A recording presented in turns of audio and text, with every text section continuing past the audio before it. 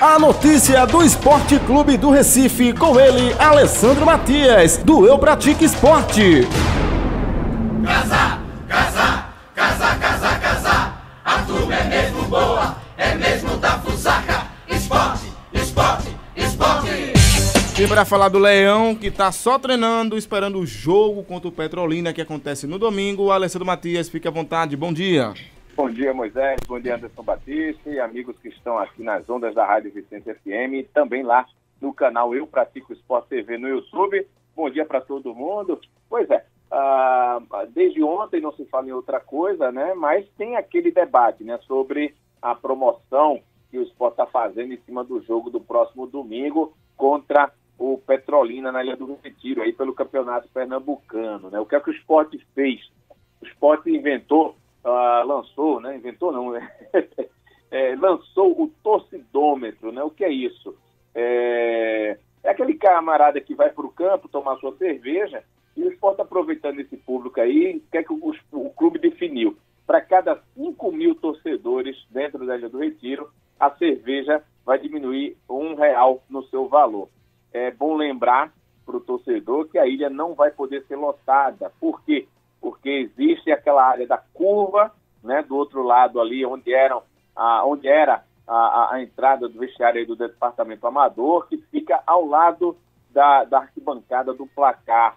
Então, é, aquela área ali, não vai chegar nem perto de uma lotação. Então, o torcedor rubro-negro está falando em open bar, open bar de cerveja, na prática, isso aí é, é, é uma ilusão, pelo menos até então, né? Existem problemas na Ilha do Retiro ainda com relação às entradas, algumas correções, é, que a, o Corpo de Bombeiros, o, o, a própria Polícia Militar já inviabilizam isso há muito tempo. Então, essas obras não foram realizadas e a, o Open Bar não fica para agora, fica, se for o caso, para um futuro bem distante, por sinal, porque essa novela já tem tempo.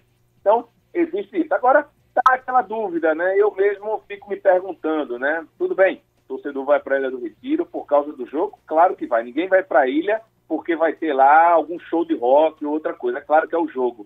Mas o que está movimentando muita gente na internet, e eu não sei também se esse torcedor vai, né?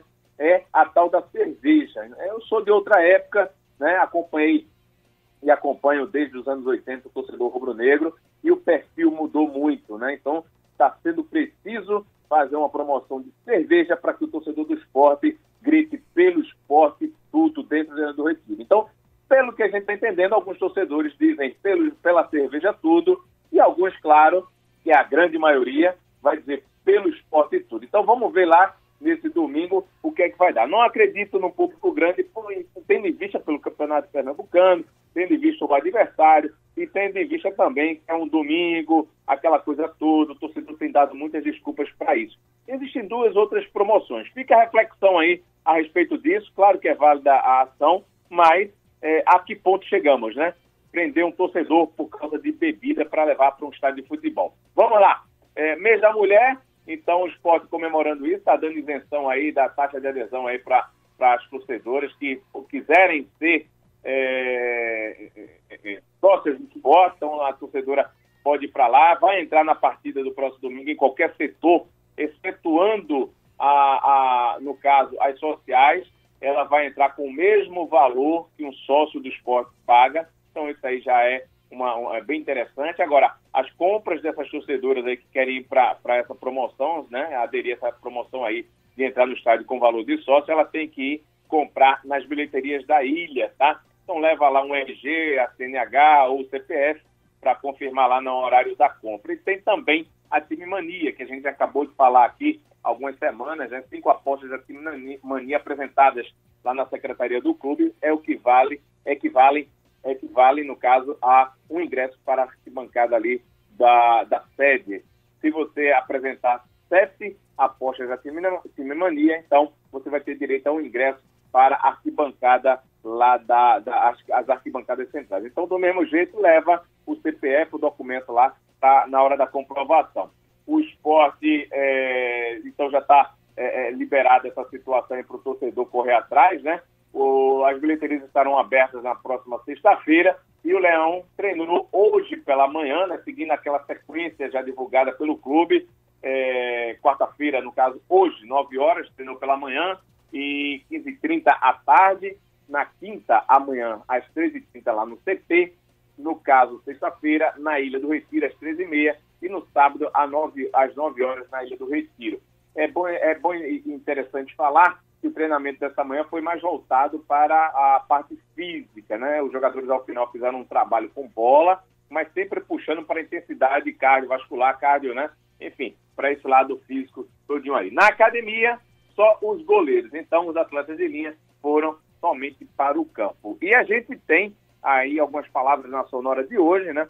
Com relação a esse assunto do ataque rubro-negro, né? Desde de, de, de, jogos aí passados que a gente está vendo uma evolução grande do Elton, está vendo também o Juninho, se bem que o Juninho também está sendo usado em outras posições, mas eu acredito que o Juninho, pelo menos essa é a minha opinião, pode ser explorado melhor lá na frente. O problema é que o brocador, com todas as reclamações de alguns aí com relação à parte técnica, mas o brocador tem guardado suas, seus gols aí nas partidas e aquela história que eu sempre digo: atacante que deixa pelo menos um gol por partida tem que ser titular, não pode ser reserva. Então, até onde o brocador for fazendo gol, o brocador mantém aí sua titularidade, porque o Elton e o Juninho estão atentos a isso. E sobre esse assunto, a gente conversou com os dois e agora a gente vai ouvir parte dessa zona mista, vamos dizer assim, lá na que a gente entrevistou eles lá em Caruaru após a partida, a vitória contra o Central no último domingo. Vamos lá. Um brocador tá virando um jogo de xadrez, né? Ou seja, de paciência.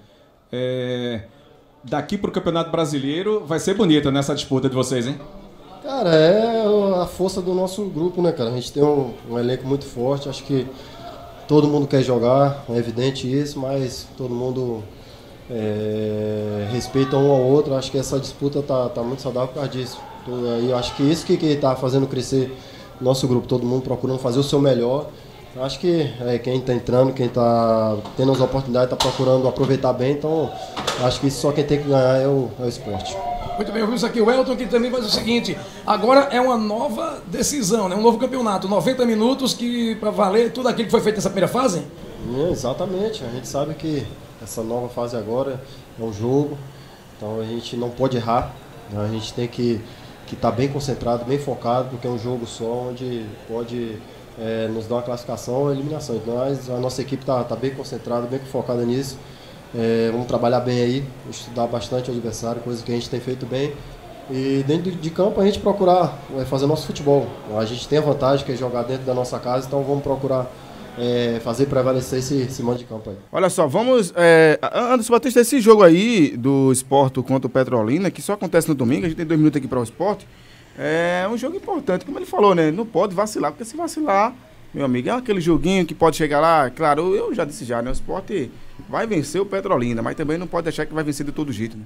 Eu acredito que essa responsabilidade dos atletas ela vai ser mantida.